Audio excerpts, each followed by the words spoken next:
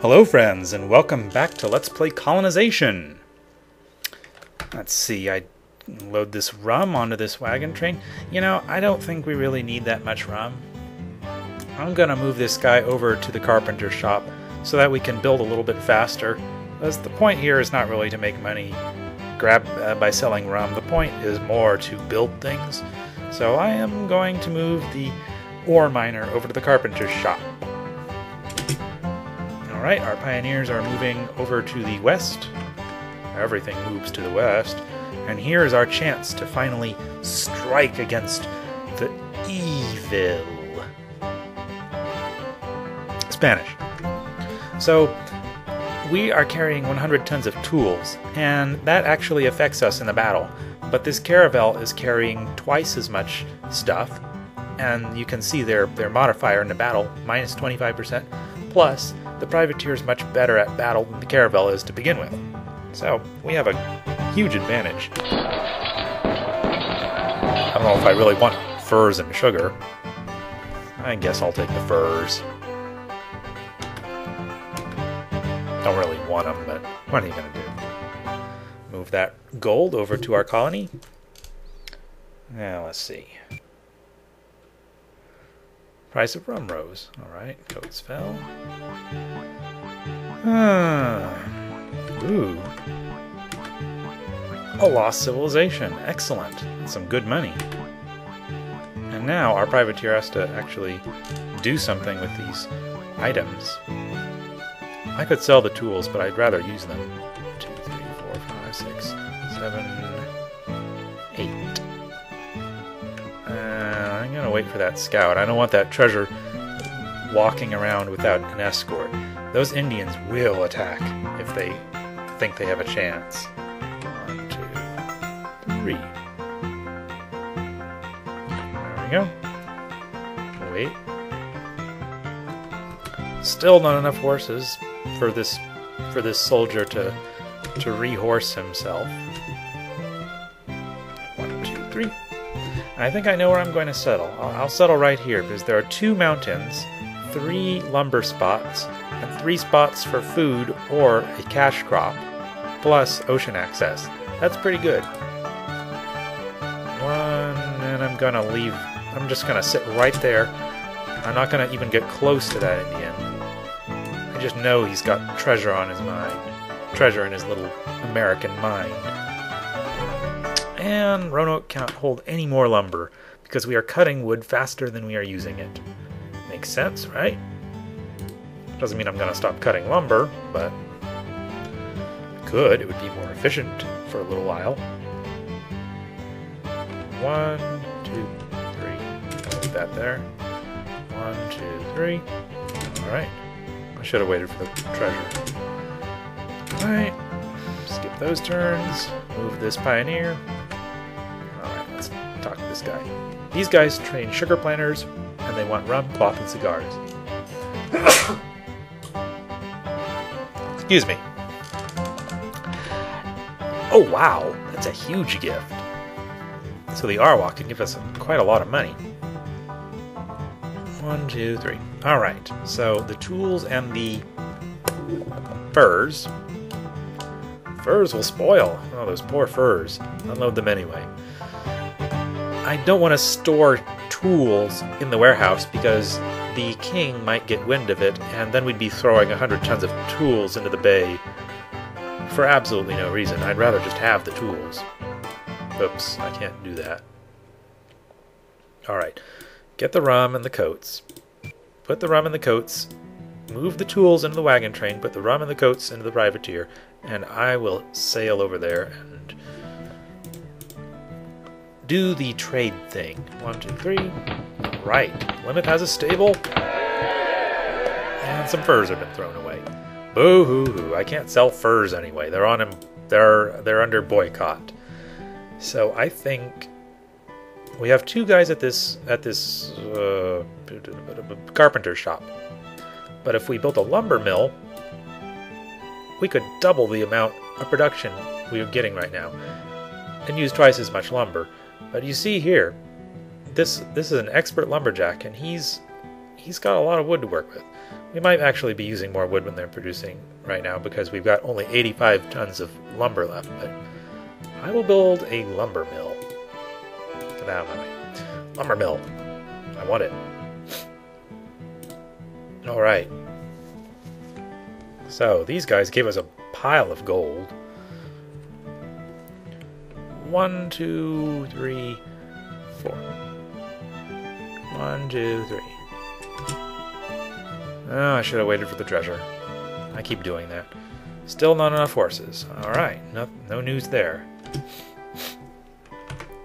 Alright. Okay, well, I'm not gonna I'm not going to have this this pioneer investigate the lost city rumor. He could, but he probably won't do as good as if a scout actually grabs it. Do I not have a... Oh yeah, my scout is escorting treasure. I was wondering where my scout went. And where my scout went? He went to escort some treasure. I'll go to London. One, two, three. And now there's a stable in Roanoke. So now horses will be faster in Roanoke. Let's build a warehouse there. That's a that's a good basic thing every town needs is a warehouse. That will double our our uh, carry our storage capacity to 200 tons. There it is. Warehouse. Right, make landfall there. One, two, three. Oh, I don't like those the look of those Frenchmen at all. One, two, three, four. One, two, three. Stay away from my treasure. One, two, three. I'm just gonna move those soldiers out there to give give the French the, the idea. Treasure not up for grabs. Right. And we're in London now, with some goodies to sell. We have some coats, 135 gold. That's good and 546 gold worth of rum. That is some good money right there. So we have over 2,000 gold again. So I could buy another privateer, but I think what I'm going to do this time is wait until I have 3,000 gold so I can buy a galleon. Galleons move a um, average distance every turn, but what they have is six holds of cargo and they are the only ships that can transport treasure, which is the only reason why I want to buy one. They can also carry six emigrants, or six units. They can do that. Alright, so I want to move this fisherman to the front of the dock, because this is a very useful unit. And I also want to move this carpenter to the front of the dock. Two very important units. I could buy trade goods, but eh, That right now. I'd rather get the units going. Set sail for the new world. Alright. Cool. And, uh, I gotta visit these Arawaks. Oh wow, they murdered my scout. tie, uh, tie you up for target practice. well, good thing I have another scout waiting in Europe. That was costly. This is just not happening. I am not giving the crown my treasure. I'm sorry. It's not, it's not acceptable. So now that this caravel doesn't have anything to do, I'll, I'll just take him back to England, go get another scout. I hate to see a scout die like that, but what am I going to do? 1, 2, 3, 4, 5, 6, 7, 8, 9, 10, 11, 12. And I'm going to go to Plymouth with this soldier. Our only so we only have one soldier. It's pretty sad, really. We have tools here. I don't really have much to do with his wagon train right now, but you know what? Rather than deal with his wagon train every turn, I'll fortify it. For now. If I actually want to trade or something, I know where it is. Price of rum fell. Cloth rose. Coats fell. Nothing but rumors. Alright.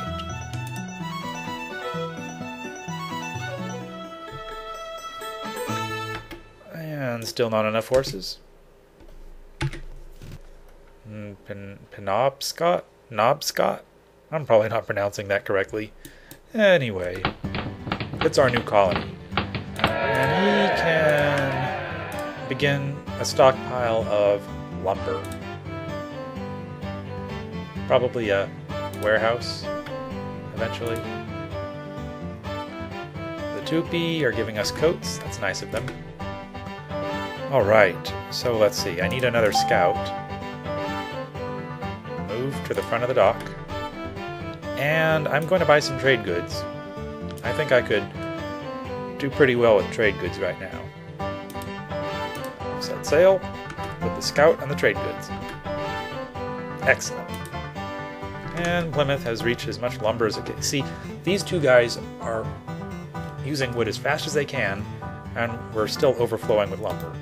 Because, no, because this guy is getting 10 lumber per turn, and these guys are using a grand total of they're, they're making only six hammers, so that's six wood used per turn, 10 gold produced per turn. Get back over here, I didn't tell you to do that. These blacksmiths tried to sneak off to the blacksmith's house. Keeping him prisoner here in the carpenter's shop.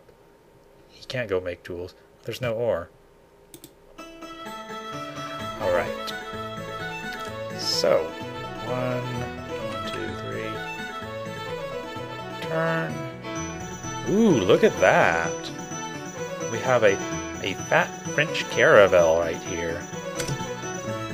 So what I'm going to do, one, two, I'm going to dump these guys here. Attack that caravel. 100 sugar, 100 horses. Excellent. The Arawaks have attacked San Salvador. Yeah, I can see why. Those rascally Spanish. Always murdering Americans. Alright, so now the scouts will talk with these Tupi. And they generate scouts, and they need rum, horses, and cigars. Thanks for the beads. And there are now 50 tons of horses. But if I give this soldier 50 tons of horses, there will be no horses left to breed. So I'm going to wait a little bit longer. One, two. Oh well, we got 50. We got 100 tons of horses from from the French. So I can finally arm this guy again. And now we have 100 tons of horses. And too much sugar. Some of the some of the sugar will spoil. Well, too bad. I'm not carrying sugar around. It's not happening. All right. And we have a fisherman now to take over from this guy. Here, move. Look at all that fish that guy is producing. A whole mess of fish coming out of that uh, that water. And that's a lot of extra food that can that that goes to, to good use in the colony. So what I'm going to do here is I'm going to make this oops. Put these tools over here. I'm going to make this guy a pioneer with the tools, and he's going to clear some of this forest so that we can actually gain ore in Plymouth. Because we don't have any ore there. It's kind of disturbing. Oh, and our carpenter. Yes, very useful. Our carpenter does as much work as these two guys can at the carpenter shop. So we put them right here. Look at all those hammers. That means faster building. And since this guy, I have an ore miner here. I don't think I can get ore from the rain. Oh, look at that! I can get ore from the rainforest without it even being cleared. And then I can put this blacksmith over here at the blacksmith's house where he really wants to be, and he'll make tools. So we can make tools now. This is a fully functioning city at this point. We've got food, wood, a carpenter, or a blacksmith. That's all it takes. We can build anything now, within certain limits. A lot of this stuff we don't really need. We're not going to need a tobacconist shop here. There's no reason to do that. You could build it just just if you want it to look pretty, but all, there's other stuff to build. So, we're going to have tools now. I'm going to load these coats into the wagon train so the king doesn't get ideas. I know these horses are going to go into the ocean soon enough, but for now we have horses here. And the privateer is free. Alright, fortify the wagon train again. Ooh, someone just attacked the Indians. I didn't see it because the animations are so fast. Threw away some sugar. Alright, that's fine. Oh, where did the where did our guy our guy died right here. Alright, so I'll just go somewhere else. One, two, three, four. And these guys gave us some beads, as I recall, so I'll just go this way. Nothing but rumors over here. Alright. Now we're back to our privateer. Five, six, seven, eight. I always like to look around for the enemy. See if there's some enemy ships. Enemy ships, excuse me. Foreign ships sailing around with cargo, of course. I'm not going to attack a ship without cargo. That's that's not wise. For one thing, they have a much better chance of resisting if there's no cargo. For another chance, I could just get my, my privateer damaged that way. Alright, so. Dragoons. I don't really have anything to do with these dragoons, so I'm just going to sort of put them somewhere. Alright, indentured servant. Plow that forest. Get rid of the rainforest here. One, two. Hmm. And we'll dump this scout right here. Ooh, it's the Cherokee. Thank you. I will soon visit Cherokee villagers. I will do just that. Next time on Let's Play Colonization. Oh, look, the French have infested Florida. Next time, we will trade with the Cherokee. Sure, why not? Begin exploring North America. That should be good. See you then.